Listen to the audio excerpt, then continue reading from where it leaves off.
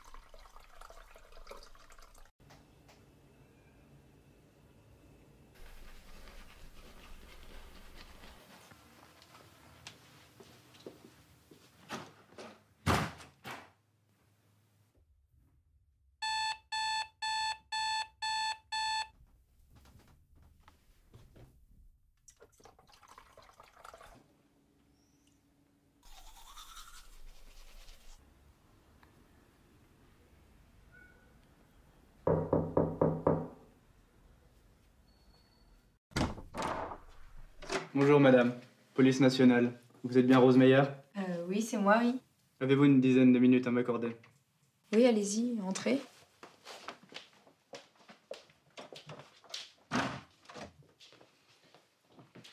Je suis ici pour vous parler d'une affaire importante. Je suis chargé de l'enquête d'un meurtre en série ayant eu lieu il y a quelques années. D'après nos renseignements, il y a de fortes probabilités que votre mari soit impliqué dans cette affaire. c'est pas possible. Je vais vous montrer quelque chose. Voici des photos de votre mari avec ses amis de la fac. Oui, c'est lui, ouais. Mais je comprends pas. Et voici ses mêmes amis.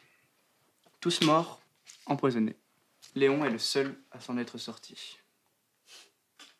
Après cet épisode, votre mari a fui en... En Afrique. Non, c'est pas possible. Léon a jamais fait de mal à personne. Il est parti en Afrique pour faire de l'humanitaire. Écoutez, madame, euh, vous savez... euh, Sortez de chez moi. Sortez de chez moi tout de suite.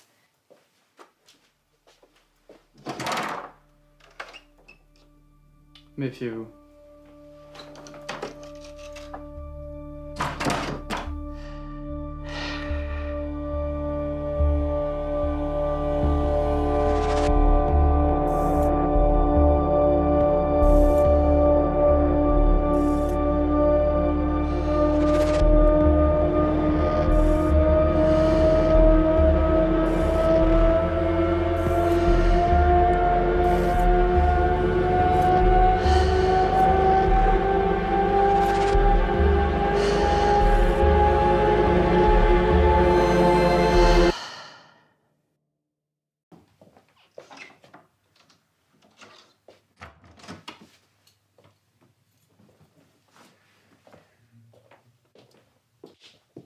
T'es pas parti travailler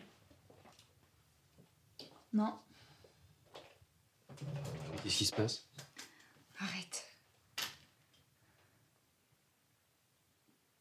Un policier est venu ce matin. Et qu'est-ce qu'il voulait? Pourquoi t'es parti en Afrique? Mais c'était pour faire de l'humanitaire Je reformule ma question. Qu'est-ce qui t'a poussé à partir en Afrique? Qu'est-ce que tu me fais là? T'es un meurtrier, Léon. Non mais ça va pas. Tu m'as jamais parlé de tes trois amis, là. Ceux qui sont morts juste avant que tu partes.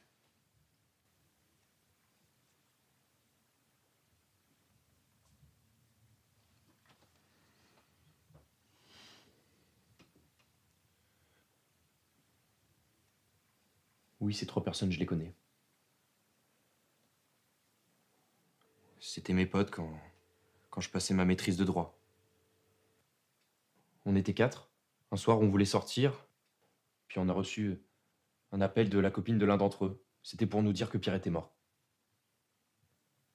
Deux jours plus tard, c'était le tour de Maxime. Avec l'autopsie, on a appris qu'il s'était fait empoisonner. Alors on s'est dit que il y avait quelqu'un qui nous en voulait pour quelque chose. Alors les mois se sont passés et puis plus rien. Puis un beau jour, j'ai appris que Jérôme était mort aussi. Alors j'ai pris peur. J'ai pris mes affaires et je suis parti en Afrique. La suite, tu la connais. Pourquoi tu m'en as jamais parlé? Mais parce que je voulais pas que tu saches que j'étais menacé. Je voulais pas te faire peur. Écoute, calme-toi. T'es fatigué, va te coucher. Je suppose que la journée était éprouvante pour toi. Tellement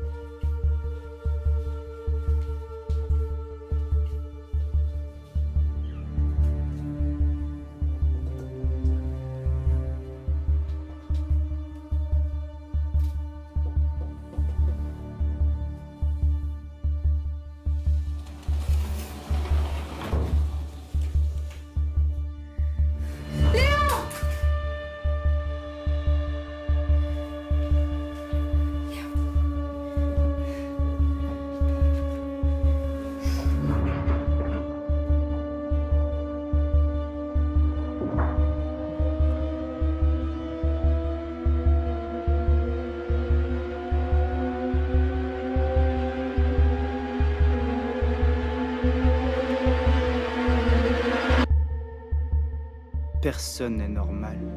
Chaque homme, chaque femme possède au plus profond de lui un mal-être qui le ronge. Ce sont nos vieux démons qui chantent, qui dansent. Vous les ressentez. Ils font écho dans vos entrailles et s'agrippent à vos tripes. Ils prennent possession de votre corps et alors, comme une drogue, vous procurent une sensation de bien-être divin mettant tous vos sens en éveil à la recherche d'une proie vulnérable. Et ce n'est qu'après avoir assouvi votre soif de sang que vous confessez vos péchés pour redevenir un être saint.